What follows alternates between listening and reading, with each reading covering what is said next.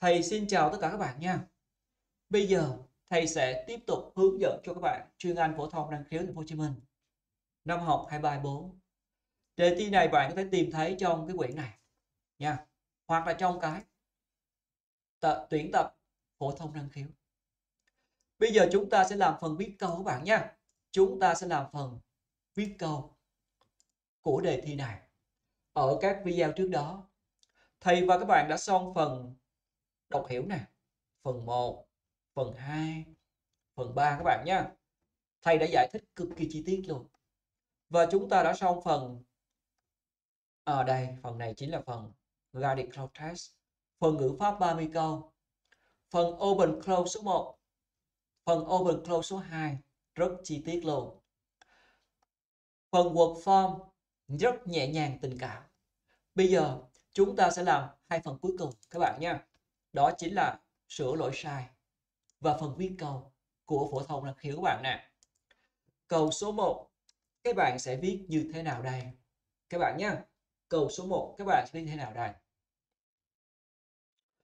Rồi trong câu số 1 bạn phải biết hai chuyện thì mới làm được.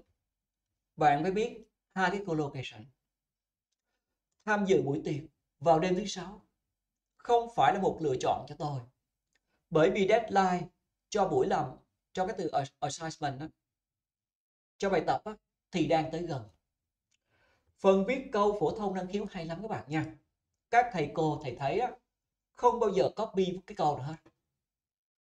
À, trước đây cũng có chút chút các bạn nhưng ít lắm. Các thầy cô tự sáng tạo ở cái câu viết câu ra nha. Các bạn ít thấy ở những đề thi khác lắm. Và bạn nào làm được cái đúng là năng khiếu đó các bạn. Trong câu số 1 này. Đây chính là một cái collocation các bạn nha. Đó. Câu số 1. Cái từ draw close hoặc là draw near nó bằng với cái từ approaching. Khi deadline cho bài tập thì tới gần. Nha, thì tới gần nè. Rồi tiếp tục các bạn nè. Thầy chào bạn Tiến Nguyễn nha. Chỗ này nè, không phải là một lựa chọn. Thì chỗ này thầy sẽ viết là à, ai nè. Câu trên thì hiện tại nha, have no choice. But đó, no option đó. But rồi. Rồi. No option các bạn nha. Đây. Thầy đã xong câu số 1. Các bạn nha. Trong câu này bạn cần biết hai cái collocation thì mới làm được cái câu này. Các bạn nha. Đó, mấy đề thi Hồ Chí Minh nó hay vậy đó.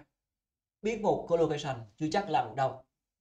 Thỉnh thoảng phải biết cấu trúc và collocation phải biết cấu trúc và idiom, phải biết hai thứ. Rồi tay qua câu số 2 các bạn nè câu số 2 các bạn nha. Cô ấy cảm thấy rất nhẹ nhõm thì chỗ này must to nè thơ danh từ nè. Đó cái từ relief đó. thầy biến thành danh từ relief. Đó một cái câu chúng ta hay gặp lắm. Cô ấy thì ngạc nhiên cô ấy thì gì đó. Thì must to cái gì đó của cô ấy. Các bạn nha. Uh, must to ngạc nhiên must to relief must to amazement surprise.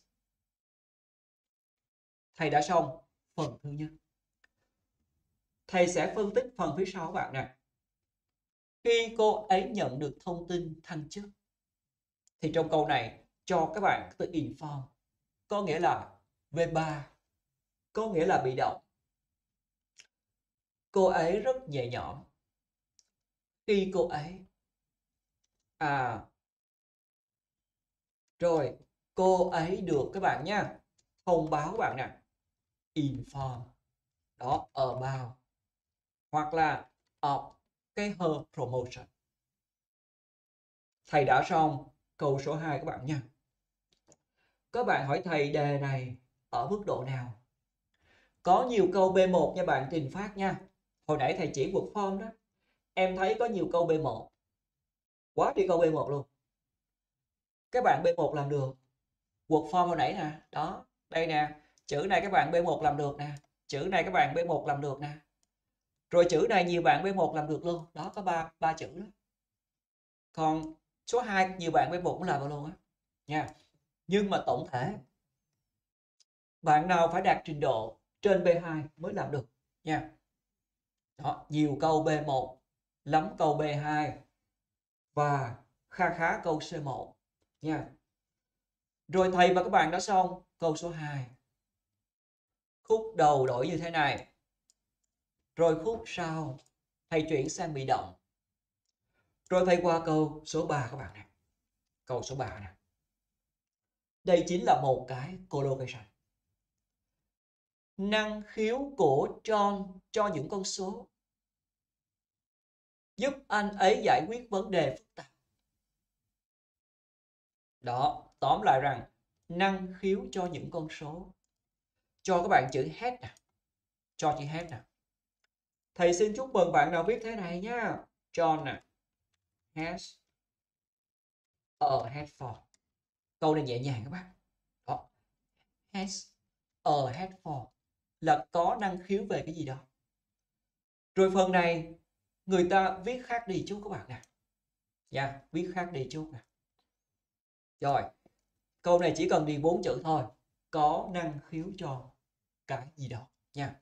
Câu số 3 thì đã xong bây giờ thầy qua câu số 4 các bạn nha. Câu số 4 các bạn nè.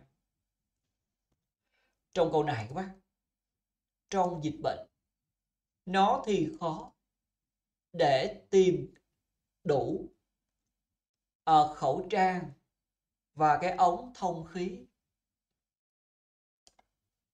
Rồi câu số 4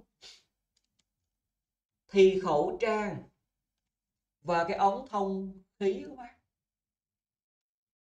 cho bạn chữ supply các bạn nè. Cho bạn chữ supply nè. Cho các bạn chữ supply các bạn nè. À rồi câu này thầy thầy nhầm chút nha. Đó thầy xin lỗi các bạn nè. Thầy cảm ơn bạn. Ờ, Ở uh, VV nhắc thầy nha. Đó thầy không để ý một phát là sai ngay các bạn. Rồi thầy cảm ơn bạn VV nhắc thầy nha.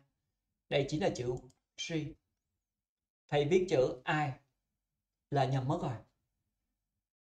Bởi vì cô ấy nhận được cái tin tức này. Đó, không để ý một phát là nguy hiểm. Rồi, thầy đã xong câu số số 3 các bạn nha. Bây giờ thầy qua câu số 4 nè. Nó thì khó để tìm cái này. Có nghĩa rằng, cái này thì câu trên á, là quá khứ. Chỗ này thầy dùng quá khứ bạn nha. Và collocation của chúng ta là in short nè, supply. Rồi, trong câu này người ta cho các bạn cái từ xảy ra. Một cái động từ thì thầy sẽ hiểu là khi dịch bệnh xảy ra. Nha. Đó, pandemic occur. Thầy đã xong câu số 4 các bạn nha. Thầy đã xong câu số 4 câu số 4 các bạn nha. Câu số 4 nè bây giờ thầy sẽ qua câu số 5 đây là cái collocation các bạn nha đó, trong nguồn cung rất là thiếu. Có nghĩa rằng rất khó để tìm. Thầy qua câu số 5 các bạn nè. Cái người này rất là xuất sắc trong những cái cảnh. Cái mà đòi hỏi những cảm xúc, thô và một giọng hát nội lực. Giống như được cái giọng hát trong cái vở này, ở trong câu này các bạn người ta cho bạn cái từ element. Đó là nhân tố đó. Chắc chắn cái câu của chúng ta nó sẽ liên quan tới cái idiom mà có chữ element này. Và thầy xin chúc mừng bạn nào viết thế này nha. Câu số 5 câu trên thì quá khứ. Thì chỗ này thì dùng quá khứ luôn các bạn nha. Câu trên á người ta dùng chữ truly. Thì chỗ này thầy viết lại luôn nè. Cô ấy thì truly các bạn nè. Uh, in nè. Her. Eleven các bạn nhé đó đây chính là collocation của chúng ta. Ai đó mà in her or his eleven có nghĩa rằng cái người đó đang làm công việc họ thích và làm rất là xuất sắc. Các bạn nha hai câu này thì thầy thấy rằng á, rất xuất sắc trong những cảnh. Còn câu này là rất tuyệt vời trong cái cảnh. Cái idiom này bạn nếu bạn tra từ điển bạn thấy rằng á họ được làm công việc họ thích và họ làm rất tốt. Rồi không còn cách nào biết khác hơn các bạn nha. Rồi bạn Trà My hỏi thầy tài liệu này tên gì? Em xem đầu cái buổi livestream của thầy á là biết liền à nha đây đang ở giữa. Rồi thầy qua câu số sáu nha. Tí nữa em xem lại video. Mở ra thấy liền à. Bây giờ thầy qua câu số 6 bạn nè. Câu số 6 nha. Câu số 6 trong câu số 6 nè. Những người tham dự cuộc họp chịu đựng cái hành vi ngang bướng của một vài cá nhân. Bất chấp là cảm thấy bực bội và không thoải mái trong câu này nè. Đây chính là chịu đựng. Các bạn nha. Và người ta cho bạn chữ up. Bạn nghĩ tới cái gì đi với up mà chịu đựng? Các bạn nha. Rồi thầy viết câu này. Các bạn nha những hành vi ngang bướng của một vài cá nhân ở buổi tiệc thì gì đó bạn nè. Thì gì đó nè. Khi mà bạn thấy cái từ tolerated thì bạn nghĩ tới cái câu này cho thầy. Bạn nghĩ tới cái cụm từ này thầy chính là put up with bởi vì nó nghĩa tương đương với nhau. Nhưng mà trong câu này phải là bị động. Các bạn nha. Bị động thì quá khứ số ít bởi vì chủ ngữ là behavior. Đó được uh, chịu đựng. Bởi những người tham dự. Các bạn nha họ bởi những người tham dự. Thầy đã xong câu số số 6 thấy cái từ tolerate, nghĩ tới cái từ put up với cho thầy nè. Thầy đã xong câu số 6 nha. Bây giờ thầy qua câu số 7 nè. Câu số 7 các bạn nè. Khi tôi bước vào căn phòng, tôi bị ngạc nhiên để khám phá rằng không còn ai hết, không còn gì hết không một dấu vết đồ đạc hoặc là tài sản nào được tìm thấy. Trong câu này nè, tôi bị ngạc nhiên. Đó và tôi bị ngạc nhiên này. Viết thế nào với chữ abet nha, hoặc là cái cụm từ nào nếu chữ abet nghĩa ngạc nhiên, bạn nào viết thì mới viết câu này. Không biết sẽ rất khó viết câu này. Thay qua câu số 7 các bạn nha. Tôi bị ngạc nhiên rồi, câu trên thì quá khứ. Câu này thì dùng quá khứ luôn nha. Was second aback đó, tu. Xong, câu này dễ quá. Câu này dễ. Đó, thì thấy câu này nhẹ nhàng. Các bạn nha tôi bị ngạc nhiên. Thầy đã xong câu số 7 bây giờ thầy qua câu số 8 các bạn nè. thầy qua câu số 8 các bạn nha tôi không nghe nhiều. Ở cái mà có thể gây ngạc nhiên tôi nữa. Tôi không nghe nhiều thứ. Cái mà có thể gây ngạc nhiên cho tôi nữa. Tóm lại, tôi quen rồi.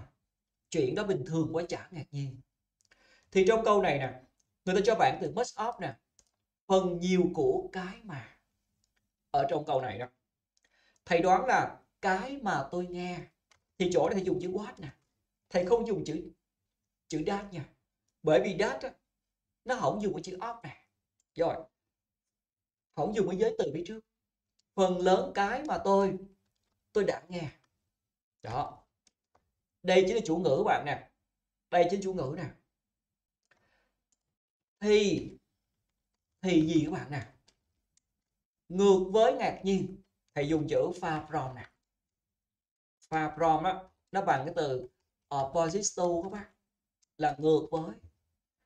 Nhiều cái mà tôi nghe thì ngược với ngạc nhiên có nghĩa là tôi chả ngạc nhiên các bạn đó, ờ, ý nói rằng tôi chả ngạc nhiên nha far from opposite ờ, thầy đã xong câu số 8 các bạn nha thầy xong số 8 bây giờ thầy qua câu số 9 các bạn nè câu số 9 một người tiếp tân, luôn luôn cười một nụ cười thân thiện.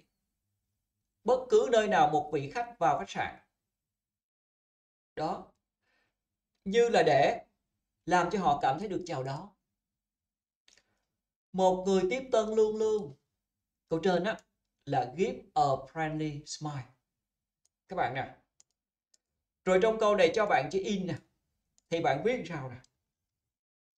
Ở trên là, give a friendly smile. Còn ở trong câu này, cho bạn chữ in.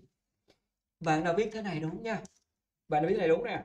Smile in a friendly way. Đó.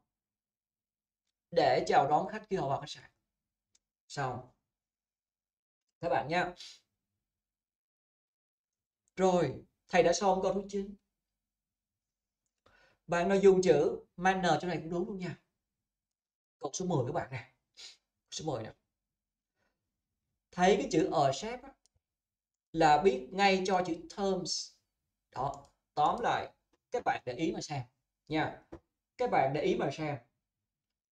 Thấy cái chữ ở shape á, là có mặt cái chữ này liền à.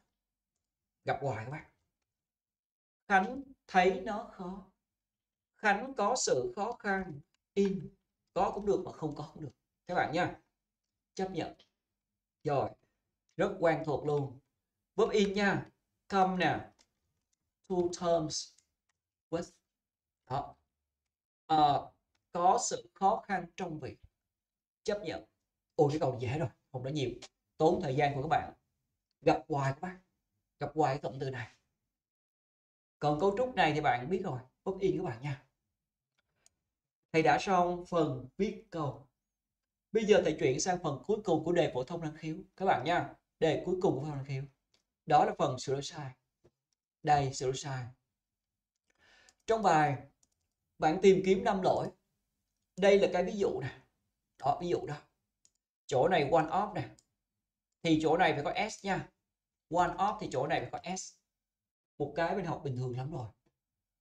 Rồi lỗi đầu tiên các bạn nha bài này nhẹ nhàng lắm bác à, ờ, đọc rất dễ luôn. Chỗ này bạn thấy nè cái từ day back to nha. Đó chúng ta có từ days back to không có days back from. Và bạn nào chọn thì chữ từ đúng nè. Đó cái từ trace from thì được. Nha bạn trúc linh ghét phần này. Em ghét nó nó ghét em lại và cuối cùng em sẽ te tua với nó. Em thương nó. Ngày nào em cũng nhớ nó. Có nghĩa rằng ngày nào em cũng ngắm nó, em học nó, thì em sẽ, thì nó sẽ thương em lại. Nó thích em lại. Nó quý em. Thì nó rất dễ. Nha. Thương nó nó thương lại. Ghét nó nó ghét lại. Rồi thầy đã xong câu số 1 các bạn nha đây chính là cái từ day backstory của bạn nè. Rồi chỗ này nè các bạn dịch cho thầy nè. À, chúng cuối cùng trở thành một cái bề một cái nền tảng để thúc đẩy hòa bình thế giới và hữu nghị thế giới. Đó đọc ra dịch ra thấy để thúc đẩy nè promote hòa bình hữu nghị thế giới. Các bạn nha. Rồi trong câu tiếp theo các bạn nè. Ở đây cái từ overtime á không đúng nha. Đây chính là làm việc quá giờ. Đó, làm việc nè. À, hơn giờ. Trong câu này các bạn chọn thầy chữ overtime nè. Chọn thầy chữ overtime. Nó bằng nghĩa là dần dần các bạn nha. Gradually nè. Đó tóm lại rằng á tiến hóa một cách dần dần nha. Không có tiến hóa ngoài giờ. Rồi một lỗi tiếp theo. Rồi tiếp theo các bạn nè, chỗ này nè. Bạn dịch cái từ nếu không á, bạn thấy nó kỳ lắm. Bạn thấy nó kỳ lắm á. Ở trong câu này bạn dịch, nếu không có những trở ngại như là tẩy chay chính trị, khủng bố dịch bệnh. Olympic đã tiếp tục gây biểu tượng cho sự thống nhất đoàn kết. Chữ này không có đúng các bạn dịch ra thấy nó kỳ lắm. Bạn chọn thì chữ despite nè. Bất chấp. Bất chấp ABCD thì Olympic á, nó là biểu tượng cho cái sự cái tinh thần đoàn kết. Các bạn nha của các đối thủ toàn cầu và chơi đẹp. Ờ, Đó dịch ra đối thủ thì thấy nó hơi bị kỳ kỳ quá. trong câu này nè sự thi đấu. Competition các bạn nha đối thủ trong câu này không có đúng ở đây phải là competition. Các bạn nhé thầy và các bạn đã xong đề chuyên Anh phổ thông năng khiếu. 2324 các bạn nhé thầy cảm ơn các bạn rất nhiều đã theo dõi và ủng hộ video của thầy. Xin cảm ơn các bạn rất nhiều. Mong muốn các bạn ủng hộ video. Các bạn nhé bạn nào xem like giúp thầy cái. Nha, xin cảm ơn các bạn rất nhiều. Và mong muốn gặp bạn ở những đề tiếp theo thầy sẽ live các bạn nha xin cảm ơn các bạn. Xin chào và tạm biệt tất cả các bạn nha. Đã ủng hộ thầy. Rồi thầy cảm ơn các bạn nha đã theo dõi thầy. Xin chào, tạm biệt tất cả các bạn nha rồi cảm ơn Nhật Minh nha. Đó, cảm ơn Nhật Minh.